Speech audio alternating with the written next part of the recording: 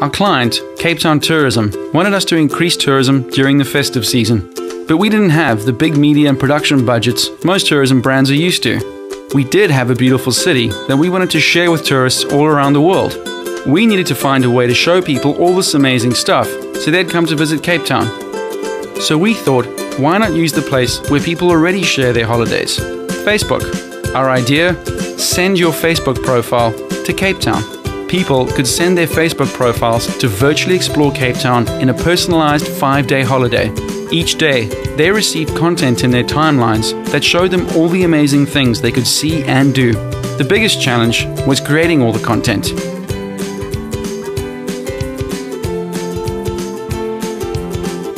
We shot over 150 POV video posts, wrote over 400 status updates, and took over 10,000 holiday snaps.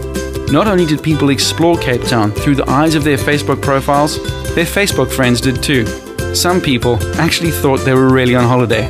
Along the way, people received real gifts from the places their profile visited, and a few lucky winners got to experience their Facebook profile's holiday for themselves.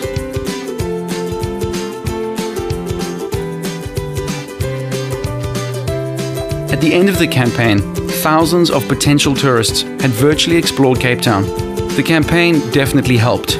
Table Mountain had a record visitor year. Tourism increased by 4%, and next year's bookings already up by 118%. By using our content in a unique way, we made a big difference to Cape Town tourism with a small budget.